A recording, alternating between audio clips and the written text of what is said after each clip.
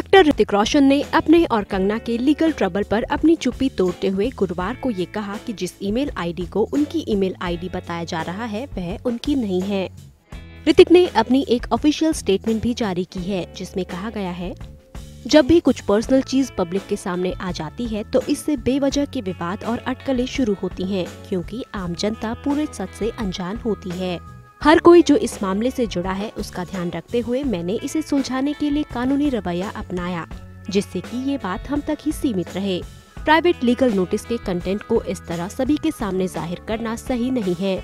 इस मामले का असल मुद्दा ये है कि जो mail I D H Roshan at email dot com मेरी बताई जा रही है, वह आईडी मेरी नहीं है।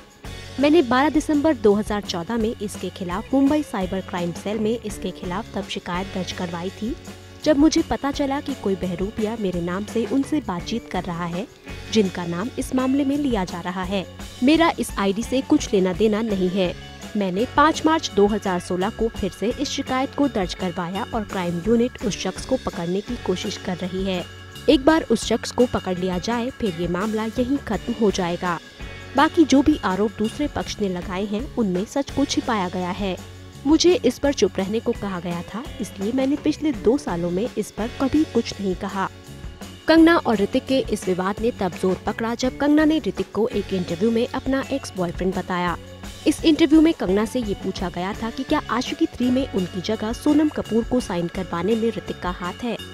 इस पर कंगना ने कहा था कि पता नहीं एक्स बॉयफ्रेंड आपकी अटेंशन पाने के लिए ऐसा क्यों करते हैं।